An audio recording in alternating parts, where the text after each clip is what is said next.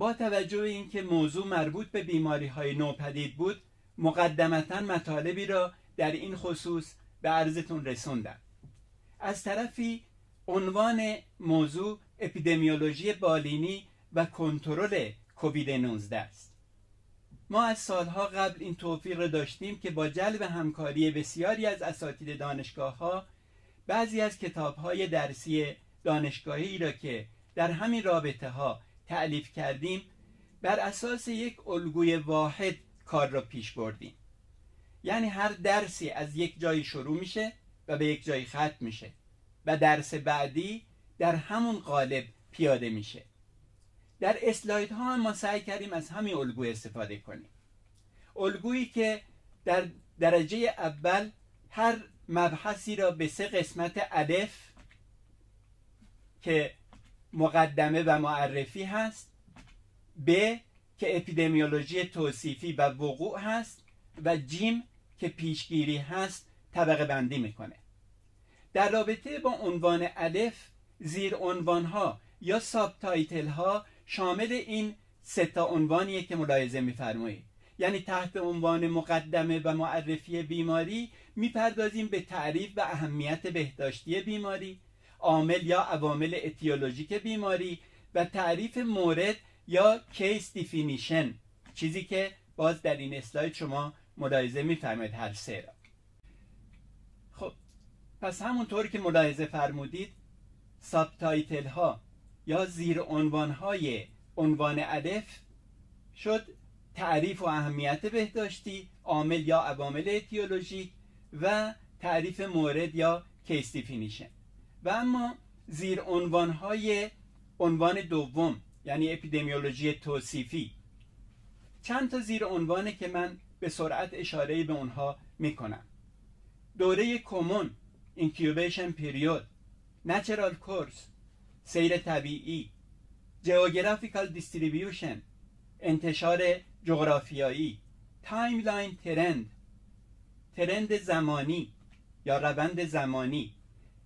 پنج. دیگه انگلیسی هاشو با اجازتون نگم. تاثیر سن جنس شغل و موقعیت اقتصادی اجتماعی. تأثیر عوامل زمین ساز. حالا از بیماری ها گرفته تا حالا زمینه های دیگه از قبیل نقص ایمنی مادرزادی و امثال اونها. یا حساسیت و مقاومت در مقابل اون بیماری در مقابل اون عامل عفونتزا. و یا میزان حملات ثانویه و یا راه های انتقال. این هم زیر عنوان دومین عنوان بود. زیر عنوان های دومین عنوان. که از همین زاویه اگر بخوایم به کووید 19 نگاه کنیم به اختصار البته من اینجا اشاره می‌کنم. توضیح مفصلش رو می‌گذاریم برای استادای بعدی. میگیم دوره کمون اون حدود 15 روز در نظر گرفته شده. حد اکثر 14 الا 15 روز. یا سیر طبیعیش بستگی به سن داره بستگی به زمینه های خاص داره. در اغلب موارد به شکل بدون علامت تظاهر می‌کنه. در موارد با علامت در 80 درصد موارد به شکل خفیف تظاهر می‌کنه. در 20 درصد موارد ممکنه شدید باشه. در زمینه های خاصی ممکنه از پیشاگهی بدتری برخوردار باشه. اینها رو در جای دیگه مفصلا صحبت می‌کنیم. منظور از نچرال کورس یا سیر طبیعی از زاویه کووید 19 که نگاه کنیم این هاست یا انتشار جغرافیایی. به اینجا که می‌رسیم میگیم مثلا از چین آغاز شده و به اقصانقات جهان کشیده شده. و اگر لازم باشه کشور به کشور میشه اسم برد که در کدام کشور یا کدام منطقه زودتر یا دیرتر حادث شده. یا به timeline trend که می‌رسیم زمانی می‌تونیم در موردش صحبت کنیم که بیماری یک به یک بیماری بومی تبدیل بشه و سالها ازش بگذره. اون موقع بگیم مثلا این یک بیماریه که seasonality داره. فصلیه مثلا در فصل زمستون مثل عامل سرماخوردگی حادث میشه. یا مثل بعضی بیماری های دیگه مثلا در فصل تابستون. در حال حاضر چنین قضاوتی را در مورد کووید 19 نمی‌تونیم بکنیم. آغاز همه‌گیری هنوز. آغاز پاندمیه. معلوم نیست که سرنوشت بعدیش چگونه باشه. منظور از timeline trend اینه. یا فرض کنید حالا آنفولانزای نوع آ را مثال بزنیم. خب میگیم یک بیماری فصلی زمستون است. هر یک تا سه سال یک بار همه گیری های ایجاد می‌کنه. هر ده تا سی سال یک بار ممکنه باعث ایجاد جهانگیری بشه. timeline trend ببینید هیچ کدوم از اینها رو در مورد کووید 19 نمی‌تونیم بگیم. چون دانش ما و تجربه ما هنوز به حد کافی نرسیده. انشالله که نرسه. یعنی قبل از اینکه ما بخوایم تجربه روش کسب بکنیم بلکه همونجور که عامل سارس. ناگهان ناپدید شد عامل کووید 19 هم همون سرنوشت را داشته باشه. بعد مثلا در مورد تاثیر سن جنس شغل یا موقعیت اجتماعی. از همین زاویه به کووید 19 بخوایم نگاه کنیم می‌بینیم که بر خلاف انتظاری که داریم در کودکان یا آرز نمیشه یا به شکل بدون علامت آرز میشه یا اگر به شکل با علامت باشه به شکل خفیفی تظاهر می‌کنه. یا در رابطه با جنس برخلاف خیلی از عوامل عفونت زای دیگه هیچ تفاوتی بین جنس مذکر و مؤنث نیست. یا مثلا در بعضی از زمینه ها مثل بارداری و اینها مثل آنفولانزا نیست که اونقدر مشکل ساز باشه. ولی می‌تونه در ارتباط با شغل باشه. مسلما کسانی که شغلشون این گونه ایجاب می‌کنه که مراجعین زیادی داشته باشند در تماس با مراجعین زیاد مسلما احتمال خطر براشون بیشتر هست. چیزی که اثبات شده یا مثلا همکاران پزشک و پرستار. چرا ما شاهدای نسبتا زیادی از بین این عزیزان داشتیم؟ به خاطر شغل مقدس اونها که در واقع به منزله قواسانی بودند که علا رغم این که با لباس قواسی به نجات غریق پرداختن ولی از بس تراکم ویروس در محل بستری بیمارها زیاد بود که ویروس تونست به بدن اونها نفوذ بکنه. و اصلا سر شغله. به هر حال شغل هم روی کووید 19 اثرگذاره روی میزان بروزش شیوعش حتی روی پیش‌آگهی اون.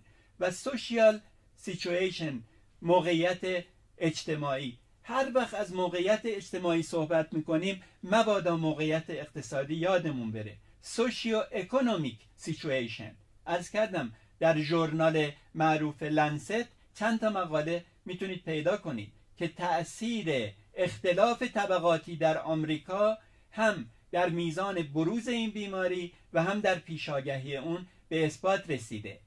یا در مورد predisposing factor ها عوامل زمینه ساز.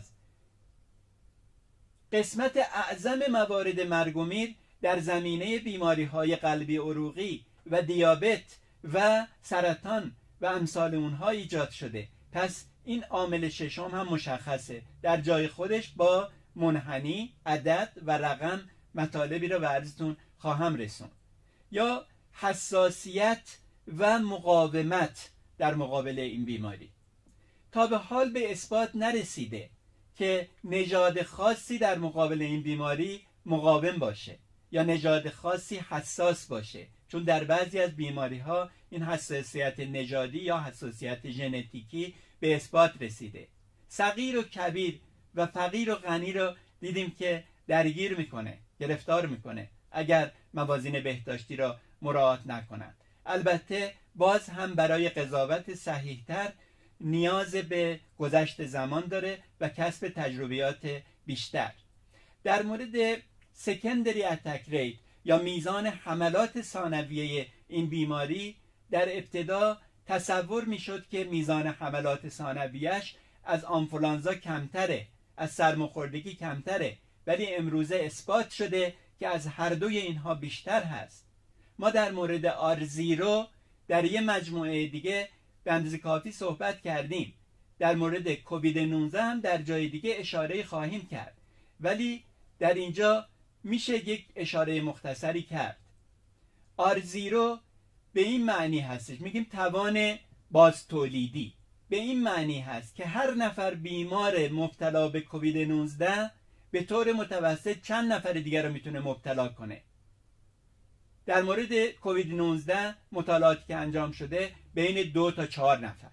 یعنی یک عدد و رقمی تقریبا دو برابر آنفولانزا. پس سکندری اتک ریت از این زاویه هم اگر نگاه کنیم می‌بینیم که نسبتا بالاست و همینی که به سرعت تونسته منتشر بشه در سطح جهان یعنی سکندری اتک ریت یا میزان حملات ثانویه بالایی داره. در مورد راه های انتقال و انتشار اون و دوره قابلیت سرایتش. راه اصلی انتقال را از همون ابتدا هم گفتند از طریق ذرات درشت تنفسی هستش. ذراتی که در تماس مستقیم چهره به چهره در فاصله کمتر از یک متری می‌تونن از ریه های افراد بیمار یا افراد بظاهر سالم ولی مبتلا خارج بشه و وارد دستگاه تنفس کسانی بشه که حساس هستند کسانی که در چنین تماسی قرار می‌گیرن از همون ابتدا احتمال دادن از طریق ذرات بسیار ریز هم که چون سبک هستند تا چند ساعت می‌تونن در هوا باقی بمونن باعث آلودگی هوا بشن احتمال دادند از اون طریق هم می‌تونه انتقال پیدا کنه. هرچند خیلی جدی نبود و خیلی رایج و شایع نبود ولی هنوز رد نشده و احتمال اینکه از اون طریق هم انتقال پیدا کنه هست. یا مثلا در مورد اینکه از طریق تماس با سطوح آلوده ممکنه به بدن انسان منتقل بشه از ابتدا هم صحبت کردند و بر همین اساس بود که توصیه کردند زود زود دستاتون رو بشورید و زود زود ضد عفونی بکنید. چرا؟ آیا از طریق دست ها منتقل میشه؟ آیا از طریق پوست سالم یا حتی پوست آسیب دیده به بدن منتقل میشه؟ نه. ماها متاسفانه عادت داریم دستامون رو به بعضی از حفرات به اصطلاح صورت نزدیک می‌کنیم. به گوشه لبمون ممکنه نزدیک بکنیم. به چشمامون نزدیک بکنیم. به حفرات بینی ممکنه ناخداگاه نزدیک بکنیم. اگر انگشتان آلوده باشه ویروس را به این قسمت هایی که اسپردیم که در واقع دروازه ها یا ورودی های دستگاه تنفس هستند با دست خودمون هدایت می‌کنیم و بنابراین از این طریق هم منتقل میشه. با عدد و رقم و نمودار انشالله در این زمینم به اندازه کافی صحبت خواهیم کرد. من فقط می‌خواستم در خصوص این زیر عنوان های مربوط به عنوان بی که آکرنس بود یا وقوع و اپیدمیولوژی توصیفی خواستم از زاویه کووید 19 فعلا توضیح خیلی مختصری خدمتتون داده باشم. در مورد عنوان سوم هم که پیشگیری هست در واقع صحبت از پیشگیری پریموردیال یا نخستین پیشگیری پرایمری یا اولیه سکندری یا ثانویه ترتیری یا سالسیه و حتی کواترنری پیشگیری سطح چهارم. از اون زاویه هم می‌تونیم به کووید 19 نگاه کنیم. منتها اجازه بدید در جای خودش اشاره بکنیم. خب همونطور که خدمتون عرض کردم پیشگیری ها به چند سطح طبقه بندی میشن. اجازه بدید خیلی مختصر. من اینجا از زاویه کووید 19 به این پیشگیری ها نگاه بکنم. بعد در جای خودش به اندازه کافی روی تک تک اونها انشالله توضیح خواهیم داد. مثلا در مورد primordial prevention پیشگیری نخستین. پیشگیری نخستین برای هیچ یک از بیماری های عفونی اختصاصی نیست. اقدامات عمومی و همگانیه که وقتی انجام بشه جلوی بروز و شیوع بسیاری از بیماری های عفونی را می‌گیره. مثلا در حالت عادی کلورزنی به آبهای آشامیدنی نوعی پیشگیری نخستین به حساب میاد. چون جلوی وقوع بیماری های منتقل از طریق آب را می‌گیره. یا مثلا افزایش بعضی از عناصر مثل یود به نمک تعام جلوی بروز بعضی از بیماری ها را می‌گیره. پیشگیری نخستین در واقع از این قبیل مثال ها در این قالب می‌تونه بگنجه. خب در رابطه با کووید 19 جایگاه پیشگیری نخستین کجاست؟ همون صحبتی که در مورد تماس با خفاش خوردن گوشت سگ گربه تماس با وحوش. تماس با وحوش اگر منع از شود که بهداشتی داشته باشه که حالا دیگه اثبات شده که واقعا داره نوعی پیشگیری نخستین به حساب میاد. چون خفاش که فقط کووید 19 را که انتقال نمیده. خیلی از بیماری های دیگر هم انتقال میده. بسیاری از ویروس های دیگر هم در بدن خفاش هست که هنوز به بدن انسان به اصطلاح سرایت نکرده. چه بسا اونها هم انتقال پیدا کنند. پس پیشگیری نخستین را از این زاویه می‌تونیم بهش نگاه بکنیم. در مورد پیشگیری اولیه میگیم هدف از پیشگیری اولیه حفظ سلامتی افراد سالم در مقابل یک بیماری به خصوصی هست.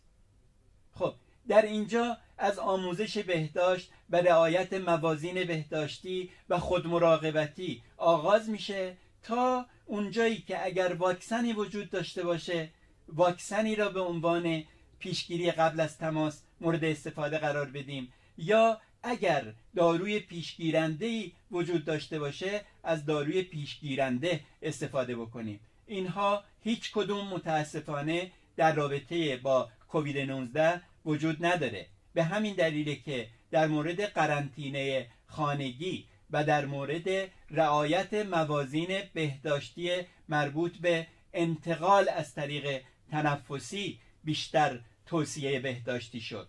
به هر حال اینها پیشگیری های اولیه هستند به پیشگیری ثانویه که می‌رسیم میگیم عبارت است از تشخیص زودرس و درمان به موقع. راههایی امروزه برای تشخیص زودرس کووید 19 وجود داره. ببخشید اینی که من گاهی عرض می‌کنم کووید 19 گاهی کووید 19 ما ایرانی ها عادت کردیم میگیم کووید 19 اون به اصطلاح زیر و زبر و اینها اینجا تکیهگاه ماست. ولی خود به اصطلاح انگلیسا میگن کووید 19 کووید 19 یعنی ما درستش رو بخوایم بگیم میشه کووید 19 دیگه کووید 19 ولی خب اینطوری عادت کردیم. شما سخت نگیرید و ببخشید. به هر حال پیشگیری سطح دوم یا ثانویه در, در رابطه با کووید 19 یکی همون تشخیص زودرسه. خوشبختانه امروز راههایی هست. هم از روی علائم بالینی که شک قوی بکنیم و هم تست پی سی آر و آزمون آنتیژنی دیگه اینها راههایی که بالاخره ما را به تشخیص می‌تونه نزدیک بکنه. ولی هدف از تشخیص زودرس چیه در پیشگیری ثانویه؟ درمان به موقع. درمان به موقع در اینجا تا این لحظه ای که من خدمت شما دارم صحبت می‌کنم که اواخر خرداد ماه 1399 هست متاسفانه هنوز درمان اختصاصی برای کووید 19 پیدا نشده. و اون کارهایی که انجام میشه و بدون شک موجبات نجات جان خیلی از افرادی که حالت بحرانی داشتند را فراهم کرده صرفا اقدامات غیر اختصاصیه که برای هر بیماری دیگر هم اقدامات انجام بدن ممکنه منجر به نجات اونها بشه. به هر حال منظور از پیشگیری سطح دوم هم اینه. به پیشگیری سطح سوم که می‌رسیم میگیم ایجاد بازتوانی در کسانی که در اثر ابتلای به اون بیماری ناتوان شده اند مثلا یکی از عوارض این بیماری عوارض شناخته شدهش نابویایی هست آنوسمیا اختلال در حس بویایی. و پیشاگهی اون رو هنوز نمی‌دونیم. آیا مواردی هست که ماندگار باشه؟ و بعد مثلا با یک عمل جراحی قابل برگشت باشه. اگر چنین موردی به اثبات برسه اون موقعی میشه پیشگیری سطح سوم. و مثال های دیگه. حالا فرض کنید گرفتاری ریه که در بیماران مبتلا به کووید 19 به اصطلاح ایجاد میشه اگر منجر به تجمع مایع در لایه های پلو بشه و اون مایع چرکی بشه اصطلاحا تبدیل به آمپیم بشه و چسبندگی لایه های اطراف ریه را ایجاد بکنه نهایتا بعد, بعد از بهبودی این افراد لازم میشه که دکورتیکیشن یعنی خارج کردن این لایه ها از اطراف ریه بپردازن به این عمل اقدام بکنن. که اینم باز میشه پیشگیری سطح سوم. اینا چیزاییه که هنوز در رابطه با کووید 19 تجربه کافی روش کسب نشده. و اما پیشگیری سطح چهارم. که بیشتر به پند و نصیحت نزدیکه و شبیه ولی واقعیتیه که باید دائما برای خودمون یادآوری بکنیم. مخصوصا ما پزشکا مخصوصا همکارانی که کار پزشکی آزمایشگاهی کارهای پاراکلینیکی می‌کنن. در پیشگیری سطح چهارم هدف اینه که هیچ هزینه غیر لازمی را تحمیل نکنیم به بیماران. هزینه تشخیصی یا درمانی یا بستری. این پیشگیری سطح چهارمه. یا هیچ اقدام تشخیصی درمانی را که تأثیر اون به اثبات نرسیده روی بیمار به آزمون نگذاریم. این میشه پیشگیری سطح چهارم. اجازه بدید در این مورد هم من بعدا توضیحات بیشتری خدمتتون بدم. پس من سطوح مختلف پیشگیری را به اختصار در رابطه با کووید 19 روی این اسلاید توضیح دادم خدمتتون. این مقدمه دوم بود که من خدمتتون ارائه دادم. مقدمه دوم همونطور که ملاحظه فرمودید به منزله نقشه راه ما بود. گفتیم وقتی می‌خوایم به کلینیکال اپیدمیولوژی یک بیماری حالا مثلا کووید 19 بپردازیم از کجا شروع می‌کنیم و به کجا ختمش می‌کنیم.